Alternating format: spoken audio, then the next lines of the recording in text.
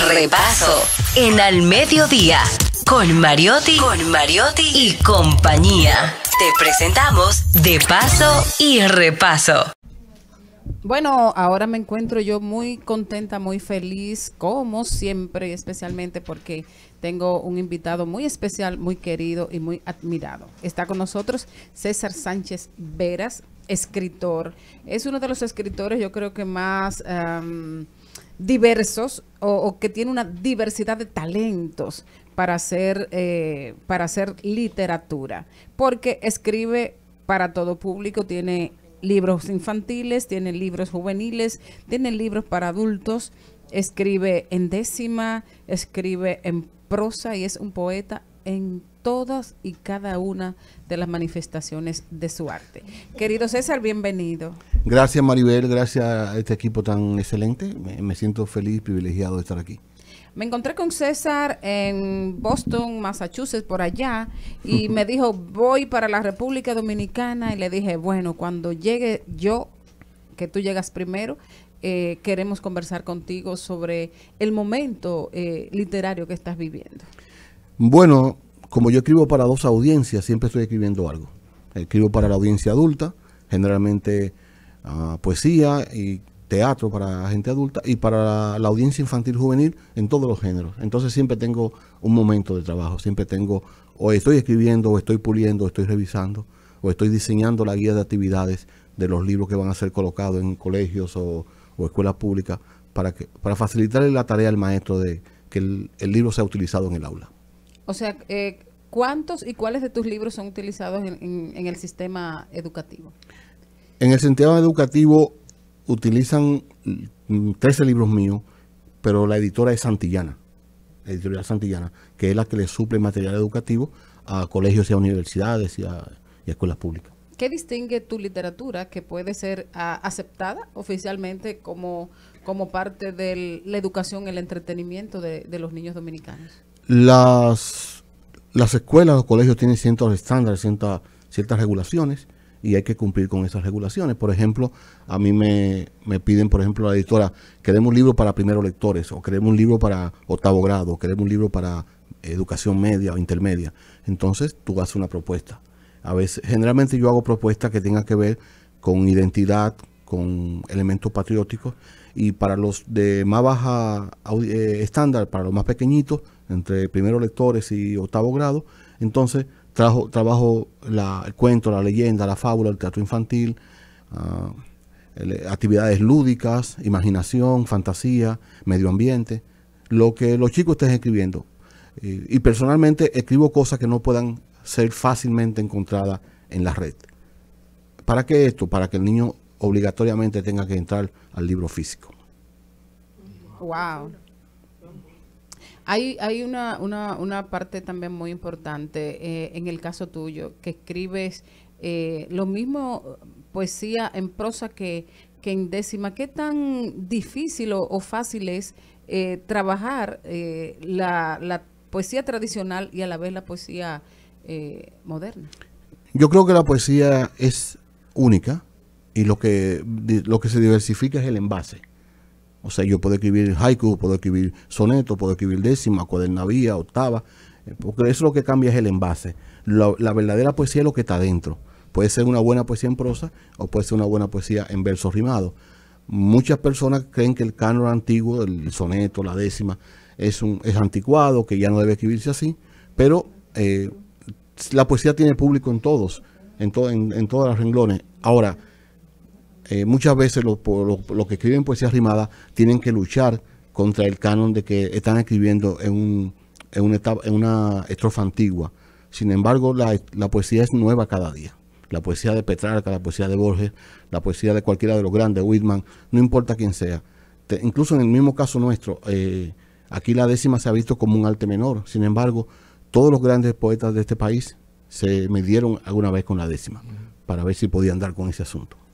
Así es. Y una, una, una cosa muy importante eh, en el caso tuyo, César, es que ha sido un, escritor muy premiado. Premiado en la República Dominicana, premiado en los Estados Unidos. Eh, bueno, lo, de, la, de toda la variante que tiene que ver con la literatura, eso es escribir, publicar, eh, premiarse, reconocimiento. Yo solamente manejo una sola variable, que es escribir. Pero a veces uno tiene la suerte de que un texto tuyo coincide con un jurado que, que lo ve bien. A veces tú tienes un buen libro y si el jurado no está en consonancia con tu época, con tu tiempo, quizá el libro pasa desapercibido o lo tratan eh, por debajo. Por ejemplo, en el caso de que yo una vez gané un, premio anual de poesía con, con, con sonetos, el jurado era, estaba enchapado de la antigua. Era Tony Raful, era Andrés Lemateo, gente que conocía eh, esa estructura y que no estaba escribiendo la poesía moderna. Entonces, para eh, yo pasé por eso. Si, el jurado hubiese tenido 25 años, 30 años, quizá el libro, siendo seguía, seguía siendo el mismo libro, pero no iba a pasar por ese jurado. Entonces, a veces eso, eso es lo que ocurre. Los escritores tenemos que estar como la música, al tanto de lo que está ocurriendo en el mercado, lo que está ocurriendo con la nueva tendencia, pero con la desafiante de seguir siendo tú mismo, de ser auténtico, de no escribir porque el mercado diga. Buenas tardes, César. Algo que quiero que nos puedas ilustrar o ayudarnos, ¿cómo podemos incentivar la lectura en el caso de la primera infancia? Llámese porque hay ciertos... ¿En la casa o en la escuela?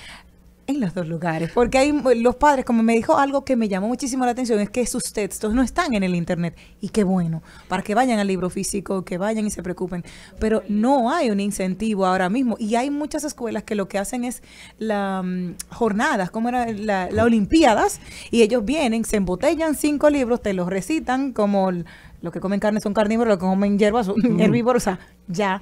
Pero tenemos esa dificultad de la lectura y sobre todo comprensiva. ¿Qué podemos hacer como yo creo que Yo creo que generalmente el problema está en la casa, pero y en las escuelas públicas, porque en las escuelas públicas nuestros chicos no tienen acceso ni siquiera a la, a la, a la lectura básica, y mucho menos a una lectura de, de entretenimiento, de disfrute o lúdica como la que escribo yo. En los colegios no pasa eso porque en los colegios donde hay incluso una bibliotecaria para la escuela, eh, a los chicos se, se, le pone un libro por mes, hacen reporte, es más fácil para nosotros. Sin embargo, en la casa, que es donde tengo que está el problema, el chico no va a leer, el niño, la niña no va a leer si no ve al papá leyendo. Debe, leer, debe ver a alguien leyendo, debe ver a alguien que tenga, que tenga como patrón la lectura. No tiene que ser libro, puede ser revista, puede ser periódico, pero que te vea observando. En el caso también puede, el papá puede sugerirle el libro, eh, y libro para su audiencia. No los libros de escuela, porque los libros de escuela, como tiene una obligatoriedad, el niño tiende a rechazar después esa lectura. El libro que él lo elija, que vaya con el papá a la donde venden los libros y le diga, elige dos libros, así como tú le dices, él coge un mango o coge una fruta, eh, que el niño elige el libro que quiere leer. Y si, el, si él ve al papá leyendo, ve a los hermanos leyendo más adultos, él va también va a ser un lector. Otra cosa que me da mucho resultado es poner libros al alcance de ellos. No libros cerrados con llave, en una vitrina con vidrio, sino libros en un estante pequeño donde ellos puedan jugar, tocarlo, eh, olerlo. Porque el, la reacción del niño con el, con el libro debe ser física también. Así es. Eh, bueno, esa coincidencia de jurado a la que te refieres ha sido muy certera en tu caso, porque tienes dos premios anuales de poesía, tienes un dos veces premio anual de literatura infantil, premio UC de poesía, premio anual de teatro, premio de teatro, casa de teatro también.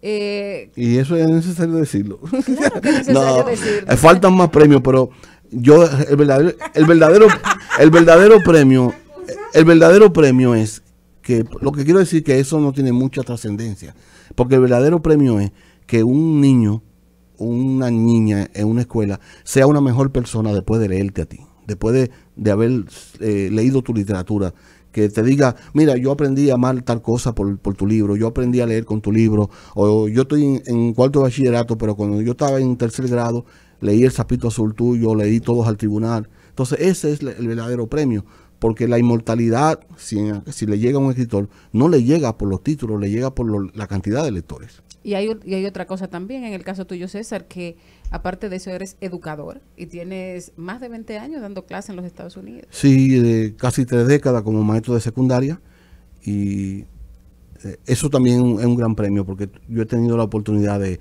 de tocar y de cambiar, de modificar conductas en el salón de clase de ver chicos que eran pandilleros y, hacerse médico y cambiar de vida. Entonces eso es eh, el verdadero eh, fruto. Dicen que la biografía de los maestros la constituyen los alumnos. O sea, el alumno tuyo es el- el- tu biografía.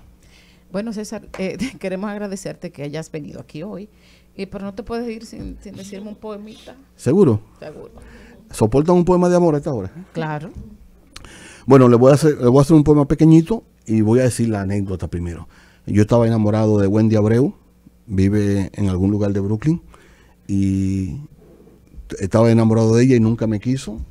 Y, el día que se iba para Estados Unidos me dijo, ven a darte el beso ese que tú siempre estabas pidiendo. Y me dio un beso y se fue al otro día. Y yo duré veinte y pico de años sin verla. Y para ella escribí un libro cuyo primer poema dice, ella amaba la lluvia y ella era en sí misma una lluvia indecible de trigos y amapolas, cual si fuera una huida de plenitud o asombro, su boca era un rumor de gotas sobre el techo y su sexo un, un camino poblado de relámpagos. Nunca se vio dos veces a sí misma al espejo, era distinta y única como todos los miedos. Sé que amaba la lluvia porque sus manos iban devocadas al mar y sus ojos tocaban como beso de incienso. Ella puso su lengua sobre el pájaro acuoso que gravita en las sienes. Ella tenía el delirio triunfal del aguacero. Por eso yo la amé con mi cuerpo de tierra. Y en esa nota despedimos este programa. Muchísimas gracias por haber estado con nosotros. De verdad que un orgullo, un placer, un honor. El privilegio fue mío. Gracias por la invitación. Yo sé que la audiencia se lo disfrutó, señores. Nos vemos mañana. Esto fue al mediodía radio. Hasta aquí, Mario.